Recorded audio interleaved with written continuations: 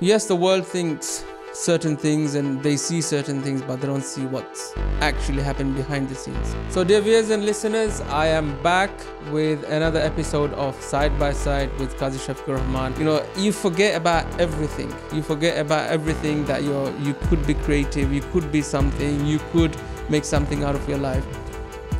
Today, it's not going to be side by side. I think it's going to be me talking about my journey with uh, my aviation company, Firnas. The questions that I often get asked on social media or when I meet someone, I was like broke from Firnas. Like, you know, it took every single penny out of me.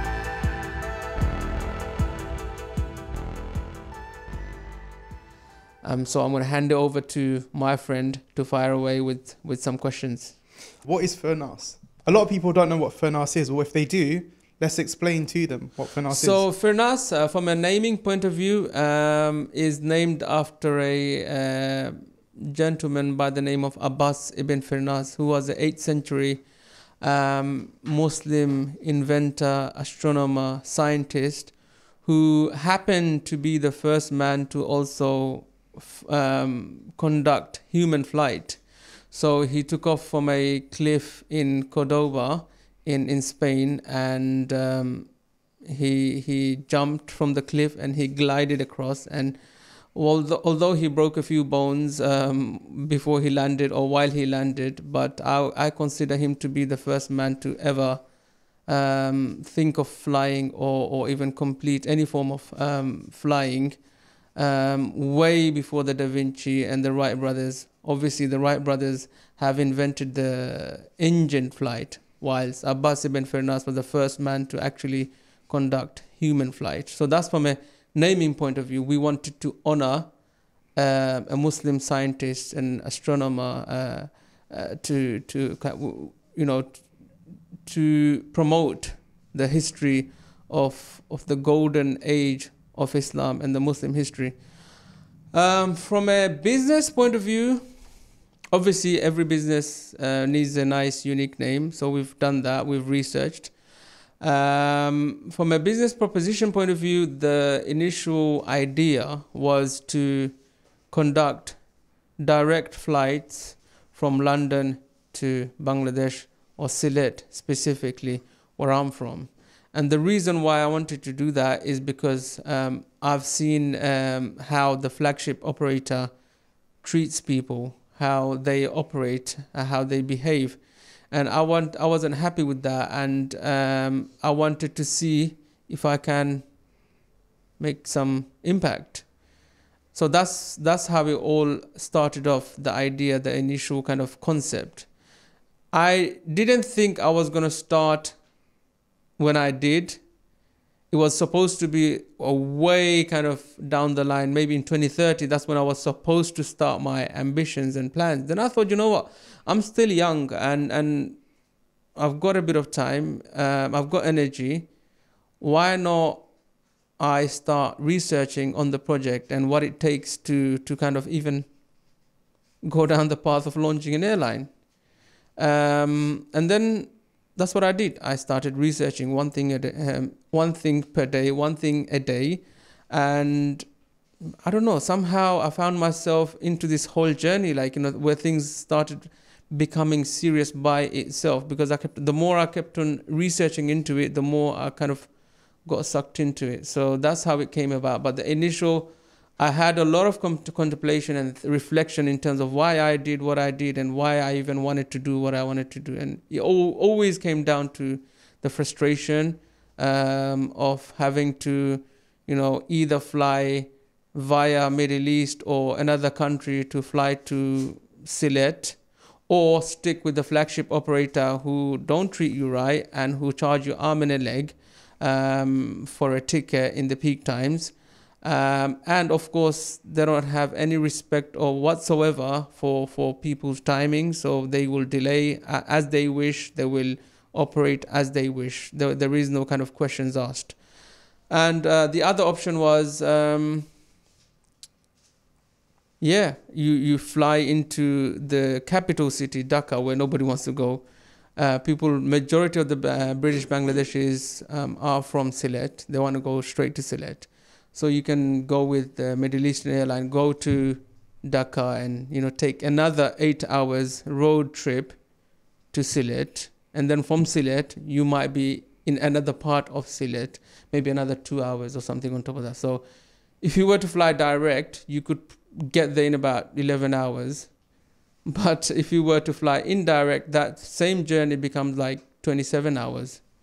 So I wanted to see if I can make my mark, uh, make an impact, and really serve my people. And that was the initial ambition. That's how it all started off. And then, of course, um, later down down the line, things have evolved, and we've pivoted um, due to a number of challenges, which I'm sure you will kind of dig into. My question is, by the sounds of it, it, it all falls on your shoulders for some reason. Why do you feel personally responsible that this is your life goal to to change for your community? Um, I feel like if I don't, then somebody else won't. So I know how my the mindset within our community works. There are only a few challenges who are kind of who who like to challenge things, and there have been a few maybe with the right intention or maybe not with the right intention, who have tried to set up entities or aviation entities rather. Um, but that's not for me to kind of uh, make a comment on. But I feel like I had to do it. So I always uh, look back at my the, the, the history of my country. The father of nation, Sheikh Mujib, he gave up his life to free the country. So I thought, you know what, maybe take a leaf out of his um, story and free my city from, uh, you know, with, with a better service. Uh, because generally the way it works is, I don't know if there is an internal geopolitics or cultural kind of difference between from district to district within Bangladesh, but I feel like Sylhet, whilst it's got a lot of money, but it always gets kind of sidelined from, from the actual story of the country. So most of the people don't want to f- fly into Dhaka, but they are made to fly into Dhaka because that's what the, I guess that's that's how it's been set up. So I feel like if I don't do it, then maybe someone else won't. And honestly, like a lot of people think, oh, it was money motivated and it was you know to to fame motivated? Absolutely not. I am a very shy guy. I've always been a shy guy and i've always been the guy who would just stay behind the closed doors and you know try and do something if if anything. So it wasn't to do with money or fame or anything all of that came as I guess as as uh, money didn't come for sure. Um, the popularity did come as a result of my as efforts. a byproduct. Yeah, as a byproduct. But that was never the intention. The intention was to serve people and and to make a change. And it's, I guess, it also goes back into my childhood, um, how I grew up, and. Um, how did you grow up? Maybe uh, tell us a bit of your backstory. I grew up so I was born in Bangladesh, 1997. No, not 1986. And the same year, my father migrated to the UK as a as a um, imam. Um, eh, for those who don't understand what imam is, um, is like a religious minister or a priest um, in a mosque. Um, so he came, and then um, majority of us brothers and sisters, there's seven of us, um, we grew up um, without the father being around because he's always kind of living in the UK, working and trying to send money back. We come from a very, very poor background. My father, when he was growing up, he didn't have like, you know, two taka, which is like equivalent of one pence, to to even buy his book to study. Oh, wow. Because in, in Bangladesh, you don't really get provided, as at least if you're studying in Islamic schools, you don't get provided free materials and, and, and stationaries. You have to buy it yourself he didn't have that kind of money. But he did narrate the stories like his uh, his um, early days and you know his life. And he always said something like he he always pretended that he was speaking english. So i felt like now that i know about all this about, about manifestation and you know all of that stuff i think maybe he didn't realize but it kind of manifested into something more tangible. And Allah has answered his prayers maybe in a very indirect way. Uh, the community or the area or the village that we grew up in, majority of the people, in fact, he's the only guy who was sent to Islamic school. And people would uh, tell my um, granny, like, you know, what are you doing? Like, why are you sending him to Islamic Islamic school? What's the future? You know, there is no future. You should send him to school, university, and you know, let him get a proper degree and a job. But things have panned out very differently. So we were the first family from our kind of village, I would say, to to migrate to the UK in 1997. And just before we arrived, actually in 1997, my father obviously used to take those internal flights from Dhaka to to to Sylhet. And then I saw once like a plane land. So in Sylhet airport, you could go upstairs on the rooftop. You pay five taka or something, and you see the plane land. And I saw the plane land, and I was like, wow, like what is this?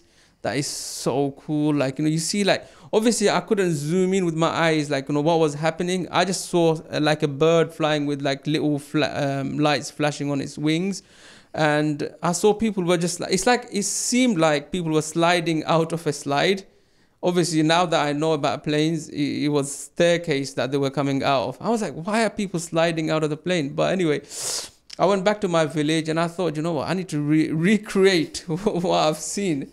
So in village, I don't know if you know, like you know, people get those old bearings of of uh, of car wheels and they put them into woods and they would make a little cart or something. Oh, no so way. I made my little cart. I would sit on it. It had two wings, and I would get someone to push me, and that was my little plane.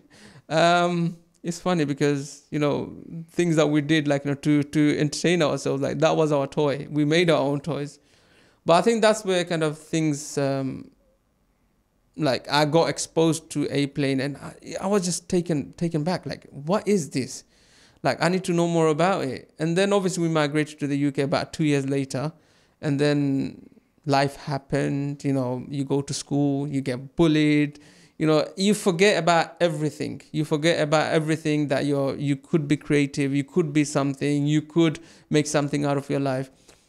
That wasn't the case. Obviously, when you go to school, year seven, I didn't get to go to primary school, so I had to start from year seven I wasn't allowed to go to French French class. I had to go to a one-to-one English class with with a, a teacher on a one-to-one basis. Hated it at that time, but now that I look back, I was like, wow, that was the best thing I think that my school ever done for me. Why would you say that? Why was it the best thing? You would have struggled integrating. You you would have uh, had troubles with the language. Why was that the best thing for you? Because it taught me English, and it taught me communication I started from ABC. So I feel like I can write, I can read, I can write, you know, because of that class. So for three years, I wasn't allowed to go to French class and I think another class. I was, I had to go to a one-to-one class, and honestly, like it was daunting. I hated it. I was like doing A, B, C, D, E, F, G, and all of that, like you know, as a grown-up person. Um, and I remember that teacher, my God, like he was so serious. Like once, every time I didn't turn up to school, he would literally turn up at my door. Like, where is he? No but now that I look back, I was like, wow, this is like, that teacher is like, he's made such an impact. Like, you know, in terms of, I guess it all boils, boils down to communication. If I can't read or commu- uh, write English, then I guess none of this would have happened, whether it's Sunnamusk or, or Firnas or the progress it made none of it would have happened. So I went to school. Um, and then by year 10, I think when I got to year 10, that's when I kind of started kind of being a bit more integrated with the rest of the um, schoolmates. Um, I think that was purely because I started giving azan on, on Friday prayers. No. Was that at school? Was that at school? At school, Friday prayers, and like the all the bullying stopped completely. Is that because they felt there was a level of respect? Yeah, yeah. I think they felt like, wow, like, you know, this guy, like, you know, he does the azan. Like, how can we, like, you know, now, you know, treat him differently? But before that, I was just like one of those guys that you get picked on. Um, Is that because they knew you struggled previously? Was it the case you weren't maybe popular in school? What was the reason? Let's go into the, the depths of it. Generally, I hate it. Even in Bangladesh, I hated school. I don't know what it is. Like, you know, I just didn't like the idea of just sitting in a formal setting and, you know, learning that. I just don't know. I can't explain it. I don't know why, but I just didn't like school. And I think there are many like me who who who don't like school, but they are very kind of creative with their hands. Maybe they may be good at making things, and I think that's where the difference was. Like I didn't like to begin with the school, and then like I was had to go to school, like just land in the UK, and few months later you're in a whole new environment. You don't know a word of English I had to go with another guy. Like my dad, obviously there was like about half an hour, forty five minutes walk from from where we lived, um, near Christian Street in E1, um, and that guy he would only take me up to the gate of the school because he didn't want to see he didn't want to be seen with another freshie with a freshie, so he would say, "Look, you're on your own from here, so you have to find your way." And I was like, "Oh my god." And I remember, like, you know, that time, the first day I arrived in school, my father didn't give me any spending money because he didn't have that much spending money to give, to to give me for lunch or whatever. It was literally go to school and that is it. And then the teacher said, teacher said, "Oh, we need to buy you a uniform." I was like, so scared. Like, how how am I going to pay? Luckily, thankfully, Mr. Mamoon, I think many people know him um, at that time, Stepney Green School. He he just funded it, my uniform. I was like, oh God, Was that day. ahead of year? Was that? He was a head, of, head teacher. Head teacher. He took us to that uniform school in Ben Jonson Road, nice. and got got the uniform. And I was like, "Yeah, how am I gonna pay?" And then um, he paid for it, thankfully, and then he saved my day. Um, but honestly, like lunch money not, was non-existent. Like you, know, you have to take your lunch from home, and again, eating lunch was a problem as well. Like what we grew up eating wasn't like crisps and drinks and you know I would I couldn't go to the tuck shop to buy you know the the, the golden wonders or walkers and and the and and, and coke or, or panda at that time it was yeah do you remember that drink panda panda you get pops, a lot for a pound it? yeah it was yeah, panda yeah, yeah, yeah. Um, gold bars so I, I couldn't go to tuck shop so I had to take my own snacks and and and and lunch from home and generally sometimes it would be a boiled egg and can you imagine like you know eating a boiled egg in school. Like that is like you'll get frowned upon. So I would hide in a little corner and just like put the egg in my mouth and just pretend like nothing happened. so it was interesting. Uh, and then I started working in in. So from Stepney school, I went to madrasas. My dad took me out of the school to. I, re- I was really intrigued about DT design and technology. Um, I really wanted to be a car designer. I wanted to know more about how cars are designed and developed. And then I told my dad, like, this is what I wanted to do. And then he was like, nope, that's not happening. You're going to Islamic school. And then I went to Islamic school. And then from there on, like, I just couldn't kind of settle in. I, I just didn't find my place in any of those places.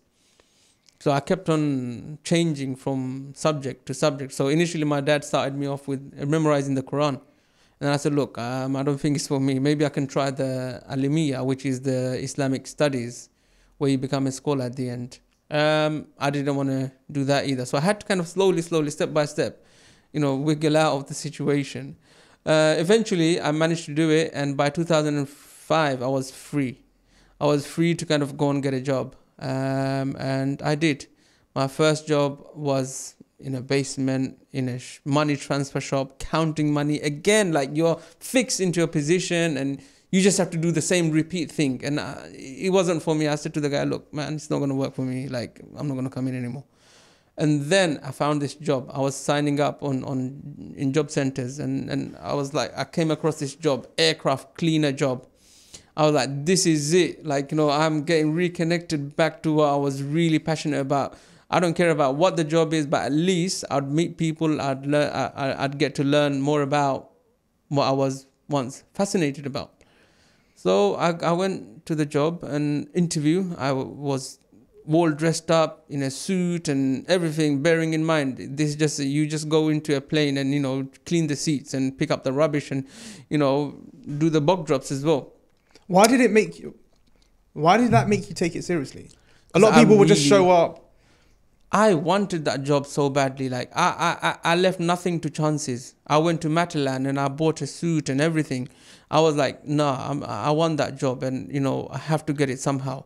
And it all started with, you know, with the first impression, and you know, impressing the manager that I was meeting, and he was like, "Well, you're you're like a bit overdressed," because I saw other people uh, were waiting in the queue as well, and I was like, they were just like dressing like randomly, like with the, in a tracksuit and you know, um, polo shirts and so on. And I was the only guy coming for a cleaner job, um, and in a suit and everything. And then obviously, thankfully, I got the job at the end, and I started. And I think that's where I got reconnected with aviation. I started thinking a lot about, you know, what this what this all is about. I had colleagues who were like so much senior than me. I was like 21 at that time, I think, and some of the colleagues were like 50, in the 50s, 60s, and they're like, "What the hell are you doing here? Like, you know, you're meant to be out learning and ed- educating yourself. Like, go and do something." I was like, "What am I going to do? Because I'm not interested in anything that's put in front of me. So go, go and learn to have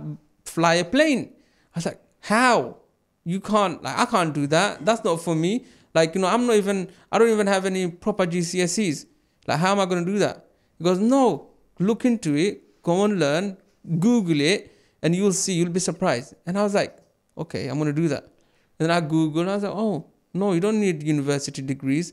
You don't need that many degrees that I guess everyone paints um, to in a, uh, everyone that associates, you know, with, with, with learning to fly. So I was like, no, oh wow, like you know, I can do that too. I took a few flying lessons as well on on, on the side. And I was like, wow, this is sick. This How is so that? cool. It was so fun. It was so fun because I felt like I'm I'm I'm at a place where I really enjoy. So I took a few lessons and then I was like, hang on, like one thing everyone keeps saying is like you need GCSEs, you need GCSEs. Like wherever you go, every flying that you flying school that you speak to, they say like it's good to have a GC, good GCSE. Was like, okay, you know what? I need to go back to school. And then I went to Keen Student School in on Vallance Road. And then I went for evening classes. So I would work during the day and then I'd go evening class. And then I uh, eventually got a B in English. Again, back to school where, where I learned to speak the first English. And then I went back to KSS to do the GCSE again because I failed pretty much all my GCSEs. I just wasn't interested. And then um, I got B in English. And How does that feel from someone not being able to speak the language to being able to achieve a B, which isn't bad? It's really actually pretty decent. I feel like when I got B in English, I wanted to get B or A or whatever. I that's when I wanted to. Before that, I was like, it didn't mean anything to me. Now that I knew I needed that particular thing, I needed to get it, and and it felt good because I was like, wow, like you know, I'm learning, and you know, I can communicate now all of a sudden because when I first started my city airport job, the cleaning job, like all my colleagues were English.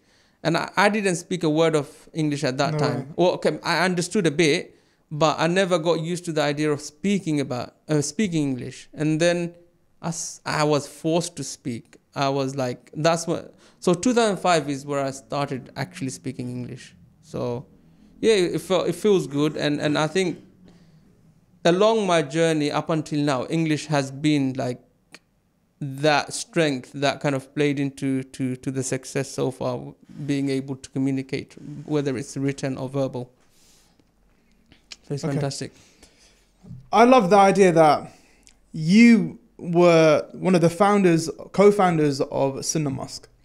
You were the CEO at the time. How does it feel giving up that mantelpiece to your younger brother? What allowed you to, let's just say, pass on the mantelpiece to your brother? Like a lot of people wouldn't be able to do that, like Mm. giving away such notoriety of having a company and so on. What made you different? I think it was um, it came to a point where Firnas was taking up a lot of time, like a lot of my mental capacity and, and energy. And me as a person, I don't like being unethical. So I felt like, well, Sunnamusk is paying my salaries, and if I can't give back the same return as I used to, then I need to step aside and let someone else kind of take take forward take the company forward. And at the same time, I also wanted to kind of go down the aviation path, but that's where things became very serious around 2018. Starting from 2016 ish, 2018 became very serious, and I felt, look, uh, I need to focus on one thing. Whether it's gonna, it's either gonna be Sunnamusk or with, it's gonna be Firnas. Which one? Obviously, I knew my heart was always telling me like Firnas because i'm so I've kind of got sucked into it so much I need to make it happen. I need to take it to one kind of at least some sort of success. What was the tipping point? 2018 when when when when we went for all these um, fundraising activities, um, applic- um, license application, releasing the aircraft, assembling the team. That took a lot of lot of energy. I just didn't realize how much energy it took because I had the energy at that time. Now that I'm a lot older, and I was like, how did I even even like managing Sunnamusk at the same time, doing all of that on the side. I felt like it was the most right, it was the rightest thing to do, like to hand over to Abid. But I just didn't say, look, here, take it. I said to him, like in 2017, look, I think by next year you might have to jump in. So maybe like. How did he feel about shadowing. that? Because he was a lot younger. I think he was in his early 20s when he took over. While, whilst he was a lot younger, but uh, he was also res- very responsible and he wasn't a guy who wasn't clued on. He knew. So be, because we started Sunnamusk at the same time, we kind of worked together almost on everything. Um, he knew pretty much everything anyway. So it was just a case of like transferring the responsibilities over a year. And then in 2018, I just made that decision. Look, it's going to be time to let go and maybe let fresh leadership come. And I feel like that was the right decision uh, to make. Even I stand, I stand behind the decision up until now. So I don't have any regrets by saying, you know, uh, Abid should take over. I think he's done an amazing job in terms of taking the company from four, five locations to almost 25 plus now. So it's been a phenomenal journey. And a lot of that growth also happened after the pandemic.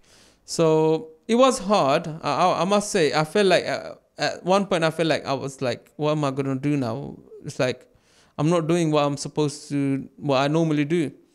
But and then a lot of things, bad things happened in in my life in terms of how Firnas turned out from what it was supposed to turn out. I'm sure we'll we'll dive a bit deeper, you know, how it all came about and where it all ended up. But I think it was a good thing. It was the right thing to do, and he did take Sunnah to to another another level, complete another level, and um, yeah, it's been fantastic. There's one person we haven't mentioned. Okay, your wife. So you have a well-paid job. You're getting paid from your own business. It's very well known in the community. Um, it's the company's growing, but now you you have the decision to make. You want to start your own airline. How, where does your wife fit in between this? I sometimes blame my wife for it because she's the one who challenged me and said, "Look, in her own words, I'll call you a man if you do it." oh wow! I was like, "Yo, like, is that how it is now? Yeah, then I need to start." And then I guess to earn that title of being called a man, I started this challenge. Um, I don't know if I'm still a man or not now because um, things definitely hasn't um, turned out the way it has. But I think it, it was her motivation, whether it's Sunnamusk or Firnas, her motivation, her inspiration, her pushing forward has always been there. Even with Sunnamusk days, like she would say, "Why are you doing this? Why are you doing this in a certain way? Like, why can't you like you know take this? You know, why can't you like you know grow faster? Why can't you do this? Like so she's asking all those questions that triggered triggered certain kind of emotions to take actions.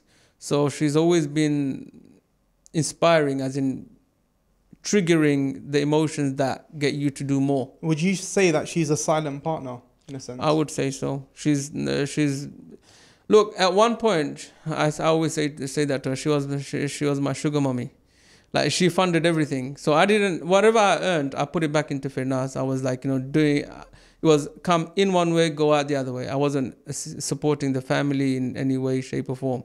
So it was her who was working part-time jobs and you know just keeping the family kind of moving. How does that feel on the outside? Everyone sees you as owning this large fragrance empire, but you're not paying the bills. It's going somewhere else. How does that feel?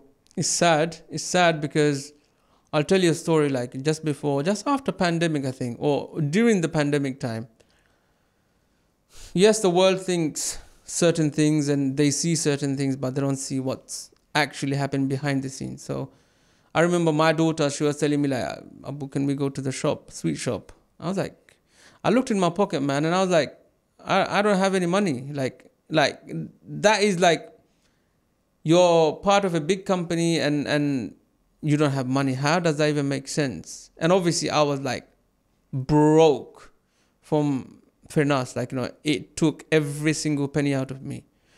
There was times where where where I would literally like just cry to myself like, what do I do? What's next? What's next? Like obviously i would say i was uh, naive as well because uh, i should have planned a lot better in terms of like how things are going to get funded but know with entrepreneurs there's there's this I, I don't know if it's a problem or it's a good thing like we always like to just get things going and then solving the problem along the way and i didn't realize what i was what a mammoth i was dealing with it's not launching a fragrance business it's not you know, setting up a market stall anymore. This is a serious, seriously regulated business.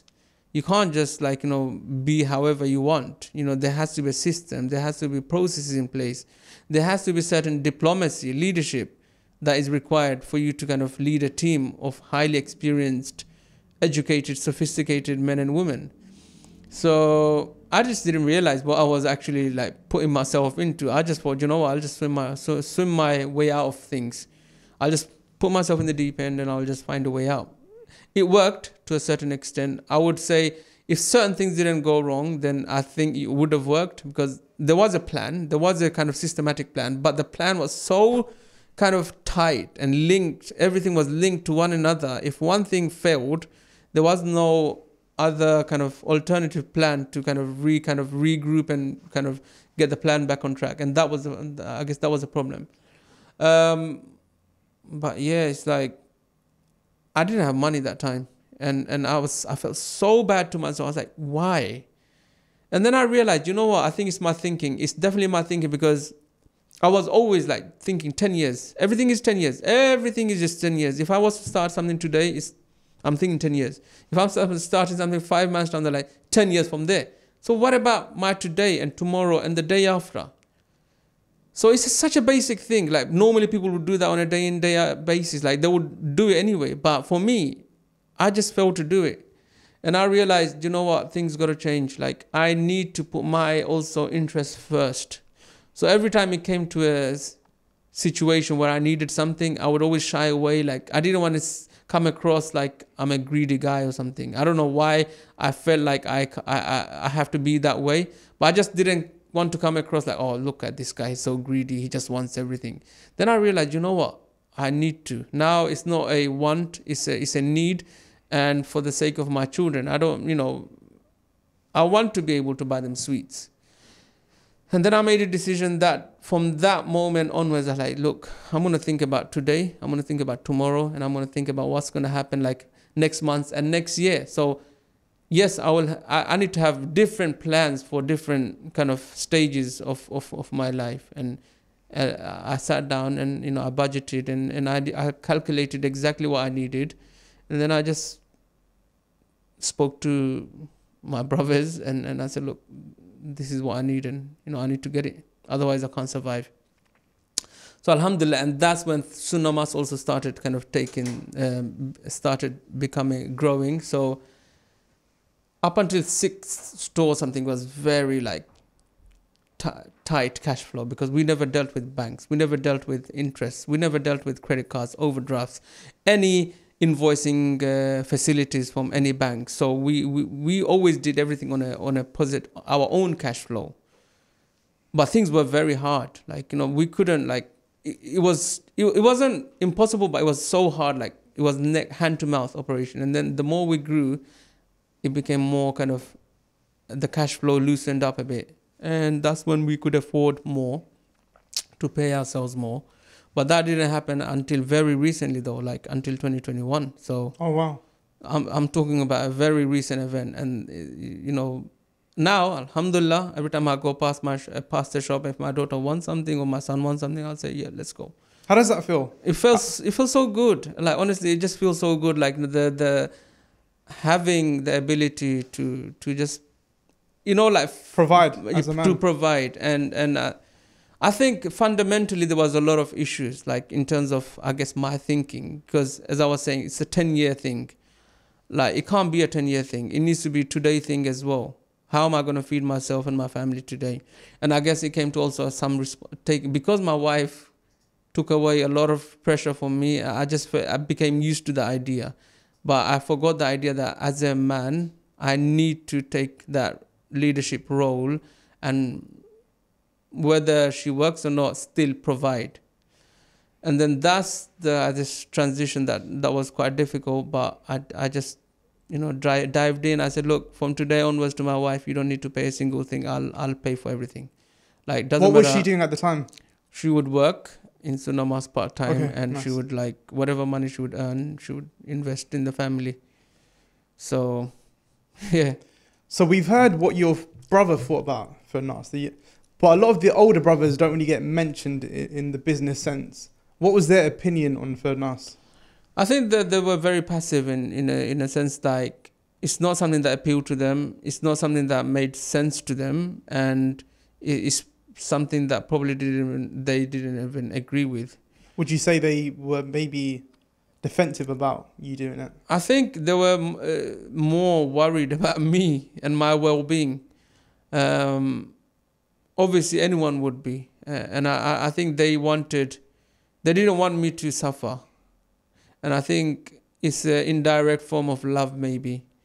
Um, and I think that's why it boiled down to like they didn't want me to go go through the stress or the suffering that I eventually went through.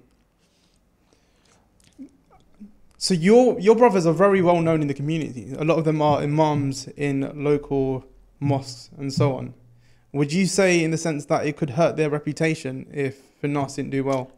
I think there's an element of that as well because, and that's not because of me doing it, it's because of what happened in the past. Some people somewhere down the line have done something and then maybe other brothers brothers who are well known in the community got impacted. So they were probably thinking, oh no, maybe this might happen to us.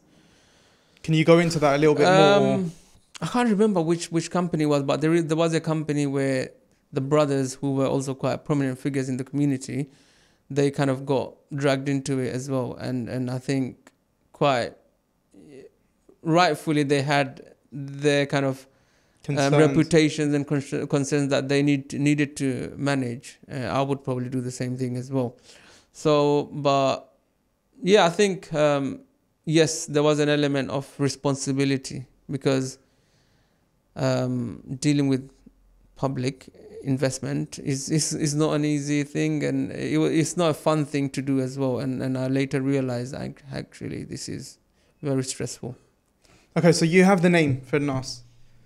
What's the next move? How do you acquire funding? How does that work? I looked at every po- avenue possible with the limited knowledge that I had. So initially, my first point was to identify whether this plan was going to work or not. So I called up DFT and Department of Transport and you know I asked them, hey, you know, there's this narrative in my community that you can't fly into Sylhet, and you know the the Bangladesh uh, Biman and the authorities will stop you. They said no, that's nonsense. Um, you can fly if you want to. If you've got the British license, the key word here is British license. Just like a British passport, it's like it gives you accessibility to so much, so many parts of the world. Same way with the British air operator certificate or operating license, you get some golden accessibilities since the flying boat days or something. You know, they have all these. I guess it's it's coming from the colonial past, like they've got all these historical agreements with various countries and various ports where they can do trade and business and those have stayed and it's that same bilateral or air service agreement that Bangladesh Biman um, operates under to fly into Sylhet or London uh, to fly into London from Sylhet so bilateral is like it's like a two-way thing, right? So same way, a British operator can do the same thing. So there's about seven frequencies, no, 14 frequencies available straight into Sylhet from London per week. That's a double daily flight, and that's in accordance with the what DFT is saying. Now, this is not me saying; that's what the letter said, and and I thought, you know what, that means there is a case. Uh, what people are saying, what the understanding the community is wrong. So let's dive a little bit deeper. I started emailing other CEOs of other airlines. I say, hey, you know, I want to do this. You know, we should sit down. We should talk. I was like, I was like, they, they were probably thinking, like, who the hell is this guy? Who does he think he is? And then at that time, there was a guy by the name of Kevin Steele. He was he literally just left Biman Bangladesh Airline. He was the CEO, and I said, look what's this what's the story man like you know is that true that you guys like the biman, biman can stop a operator. I said they he said no if you have the license today you can fly there tomorrow. Like that is is as clear as that. And then i thought okay well kevin you need to come on board as well then. And then um, how did you get in touch? Was it just an email was, and he responded you know what? what? Linkedin is such a powerful tool like LinkedIn, Google, those like platforms have been like a game changer for me, and and I'll tell you a little bit about you know how LinkedIn also helped me put the noise, the information out there about Firnas. So I connected with so many people. It was either emailing them directly to, to the company CEO email or emailing them through LinkedIn, which goes directly into their personal inbox. So I connected with various people to find out initially that what it takes. Kevin said, look, you need about at least 10 million oh, to wow. begin with. Like, you know, if you really want to get this going, which then became 100 million. I'm like, yo, like. Is that disheartening hearing that number? Yes. Like, I went to trade shows where they sell aircraft seats and entertainment systems and this and that. I was like, so I would every every time I would go to the shows and and because I was so emotionally invested, I was I would go back to the hotel. I was like, this is not gonna happen, is it? Like if the flipping seat is gonna cost me like uh, five thousand uh, dollars per unit economy seats, then what about the rest? So every time, every everywhere you looked, there was just money, money, money, money. It's like it is not a cheap business at all. And then. Um, when it came to when when I when we realized like actually it's not even 10 million anymore it's about 100 million. We met with the CAA the the authorities here and then they said look I will we will make sure that you don't get the license if you don't have certain things certain ducks in a row. We're like yo like this is serious like no, we can't these guys are very serious like they're not messing about. He was the first investor that believed in your dream I can't mention any names, but um, there are a few very close well wishers, and I, I think those people they didn't really invest in the plan. They invested in me as a person. Like they thought, you know what, if he's able to do this with SM Sunnamusk, like you know, from nothing, six hundred pound startup capital to what it where it, what it was at that time, then I'm sure with that same determination and discipline, he might just do it. So I think on that basis, people kind of put the money in, in into me as a person, as opposed to the plan. Maybe they didn't even believe in the plan, but they just thought maybe just in case. And and they, they supported me, and and with those people, I will never ever kind of forget. You know their their belief in me when I needed the mo- when I needed it the most. Does that add extra pressure knowing that it's close friends and families putting this money in? Hundred percent, hundred percent. Not just like close family and friends. Anyone, any, any. If it was an entity that does it for a business, like they invest money into other projects, that is their business. They've got pool of funds to play with, and some of them will go to loss, and some of them will work, and the ones that will work will make make up the loss. But these people, like, it's the hard earned money. So it's so much pressure. It applies so much pressure. You have to kind of, you're always thinking like, you can't let these people down. Like, forget letting yourself down. Like, that you can manage. But all those ambitions and dreams and belief in you, like, you can't let them down. And this is not just here in the UK, it's all around the world. Since the documentary got released in 2018, uh, there was a global kind of uh, knowledge of of Firnas. Like people from Australia knew about it, from USA knew about it, Malaysia, Indonesia, Bangladesh. Like it was all over the media, and that created so much more pressure as well to deliver, to try and deliver. So it's super super hard um, to you know just think of a scenario where you might have to let people down. It's it's hard. You've mentioned that Firnas is becoming very prominent, and you could say it's even overshadowing Sunnamusk a little bit. Do you feel like there's an ego at play when you, you feel as though you have your own thing going on? That Firnas is yours, it's all on your shoulders. How does that feel? I think you know what it is. Ego, like I don't know if ego, if I gained ego along the way. Maybe I have, maybe I haven't. But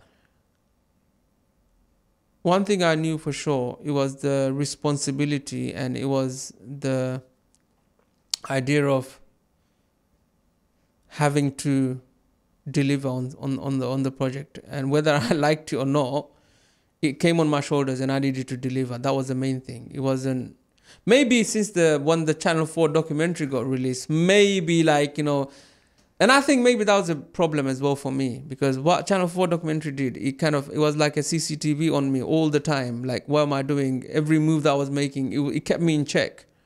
So after the documentary came, everyone was like, "Wow, wow, wow!" Like, you know, amazing, amazing, congratulations. But they shouldn't like I shouldn't really hear those words because when I heard people say, "No, you can't do it," that's when I worked harder, extra hard to make things happen. So Channel 4 documentary was a good thing in a way, but I think it was also a bad thing for me as an individual from a growth perspective because it made you you heard that word like that that positive kind of message so many times then you become kind of maybe you kind of your brain starts you believing know in, believing in it. So i think maybe that was a bad thing and maybe it shouldn't have but the pr that it generated it was i would say people even if people paid money for it, I don't think they would, they would get that kind of PR. 47 minutes on national TV, cup backed with mainstream newspaper articles purely on one story.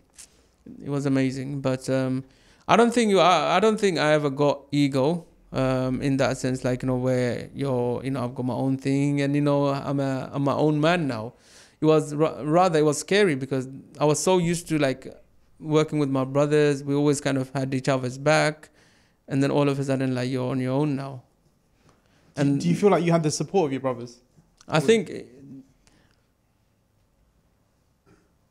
I don't know. Uh, some of them visibly could see there was support, and some of them maybe deep down they were probably praying for me, but in the front they didn't want to encourage me to go ahead. Maybe they did, like I said before, they didn't want me to kind of get hurt along the way.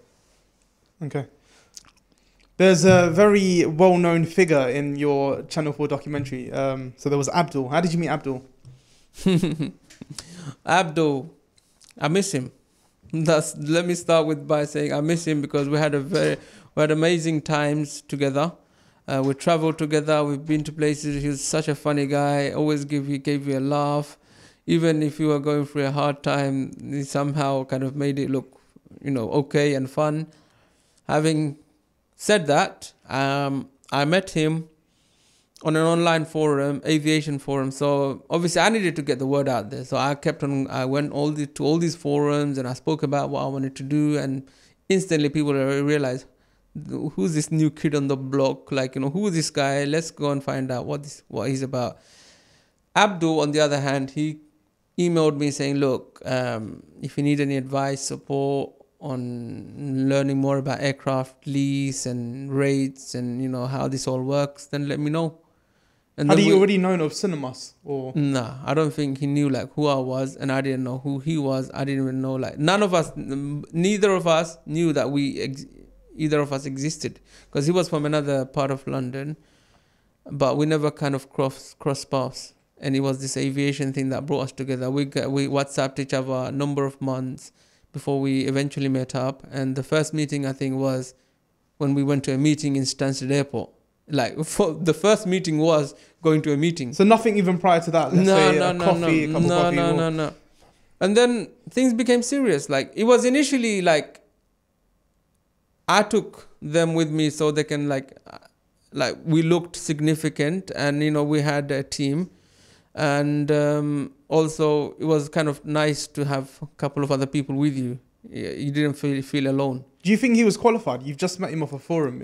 Is he the person to be taken to this big meeting? Um, I don't know. Like maybe, maybe not. I don't know. Um, but at that time, it was the right thing to do. At that time, I needed to do it, and that was, I guess, what I did. Um, looking back, if I was to do it, everything from today onwards, if I was to, then of course things will be very different. It What would you have done differently? I would have probably taken a lot more time to plan, a lot more time to budget things across, um, and not start with with a big hundred million pound ambition or a dream. Maybe start off small. Maybe maybe become a travel agent. Maybe get you get to know the industry, build a customer base, build your because the bottom line is ultimately it's the customer that you want to serve, right? So I'll probably start off as a travel agent, build my customer base, CRM, the flow, like you know, build my community of customers, and as soon as you've got the platform to kind of fly them with, then things become a lot easier, and that way you get a lot of data as well in terms of trends, you know, where people are going, what seasonalities, what they're paying, and stuff like that. So I would probably say I would start off with champion the championing the customers first and then slowly slowly eventually bring the aviation in as a kind of byproduct as a as part of a supply chain management where you kind of control the whole supply chain Do you feel like you were dreaming too big, where you're forgetting the basics? So you, i think so i think like i went on the i, I went to the end before going to the the beginning stepping stones Yeah, of yeah. gradually growing. like I said, if I was to do it all over again, if I, if he were, if he had to be serving Bangladesh or Pakistan or India for that matter, I would start off on the ground, re- level ground, like just getting to know the customers because these are the people that you would eventually need. And then if you kind of champion them and if you kind of got them together and make yourself familiar and offer a good service, even as a travel agent, then then you have a community to work with uh, in terms of customer base. Because airline business is, is very cutthroat. Like if, from a customer point of view as well we always go for the cheapest option on skyscanner. So sometimes we would even consider like stopping over at a destination just so we can get that cheaper price. So it is very a price driven kind of business.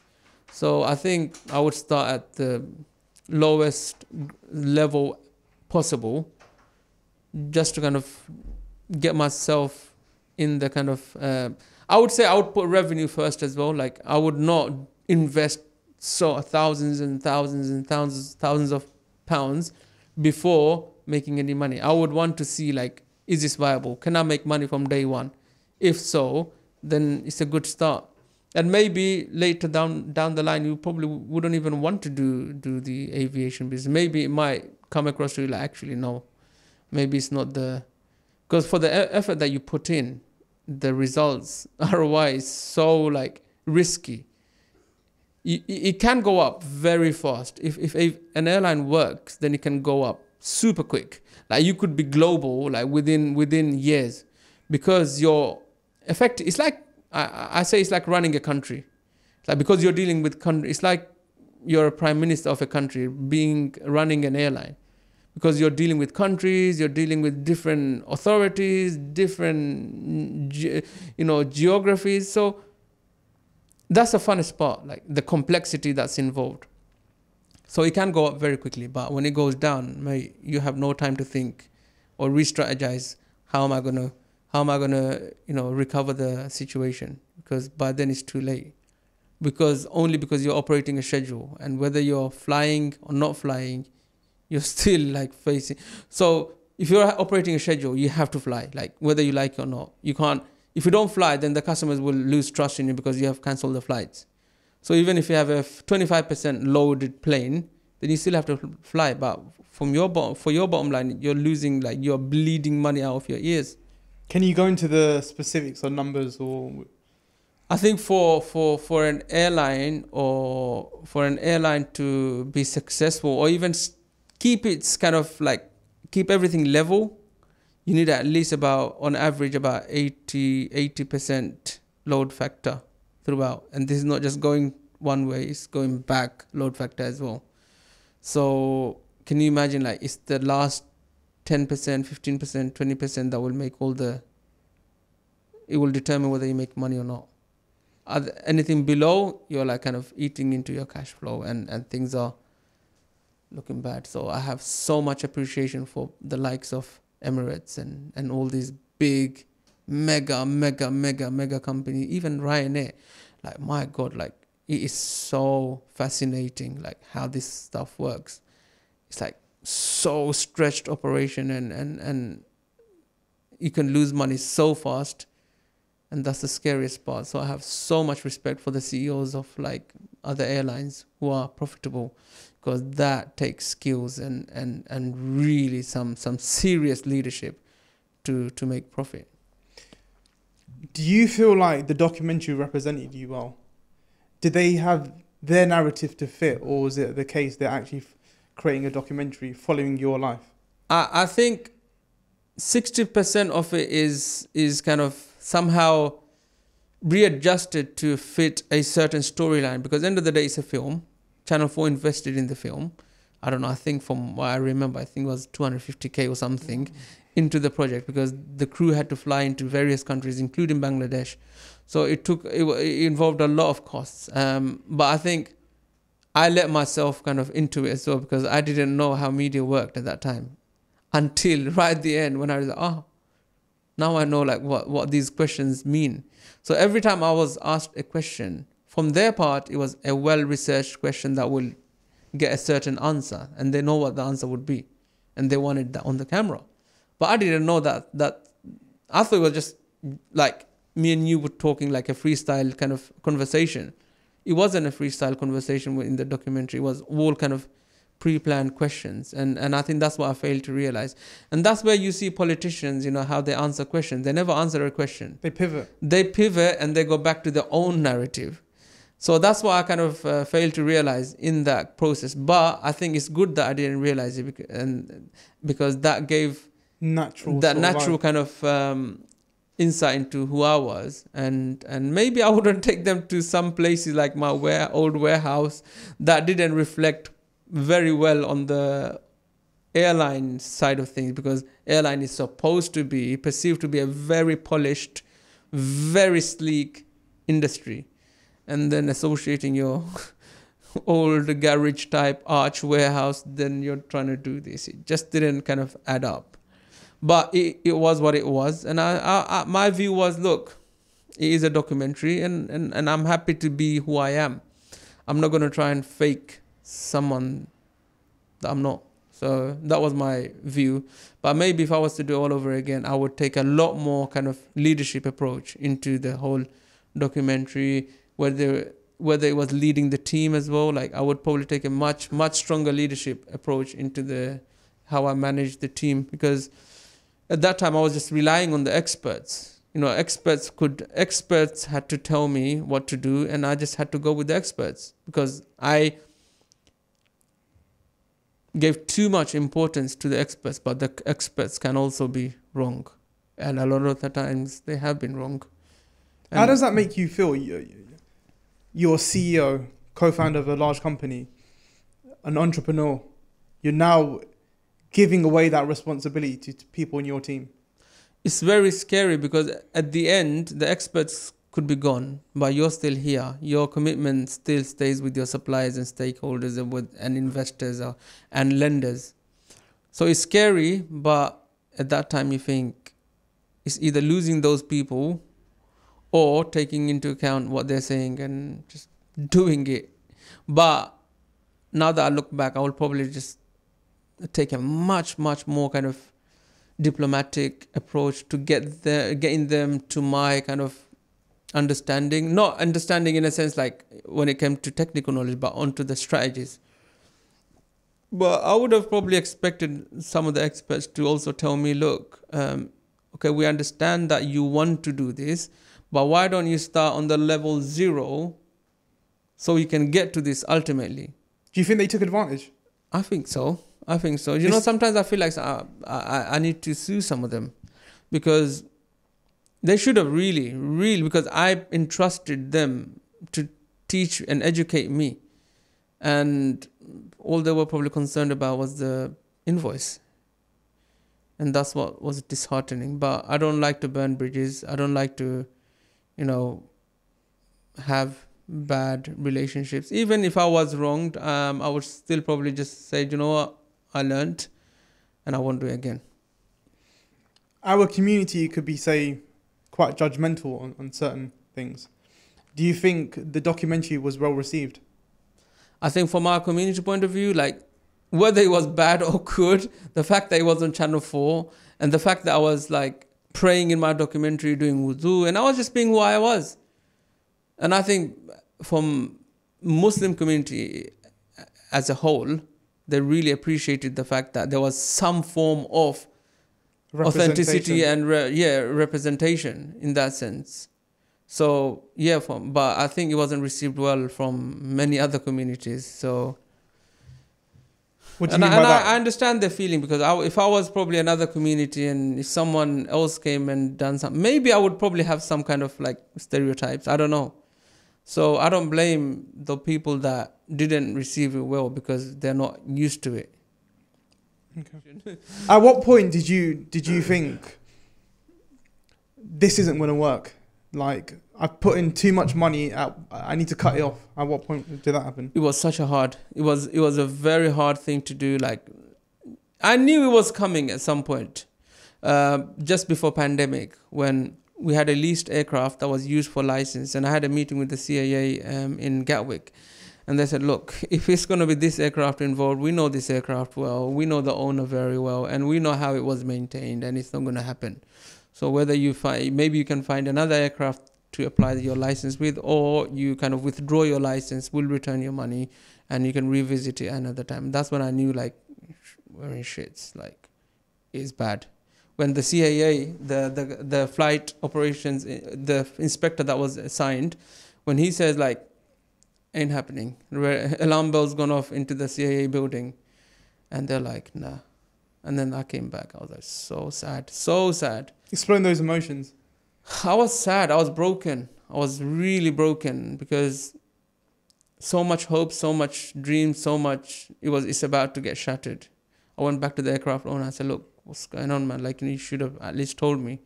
You know, like you didn't tell me the aircraft needed 500k worth of modifications. Not, it's, it was flyable. It was good." But to get up to the modern uh, Standards. instruments and, and all of that, you need to spend more money to modify it because it's an old, very old aircraft. So I knew that at that at that point, I didn't want to accept it because I just wasn't ready to accept it. But I knew like it's going down. Do you feel like you should have taken some personal accountability for that? You I should do. have known I- that you should have uh, done your due diligence. I I I I do I take full accountability because at the end of the day, if I didn't make certain decisions, then we wouldn't have gone down that route of aircraft. But at that time, again, that was the only choice that I had to kind of make progress.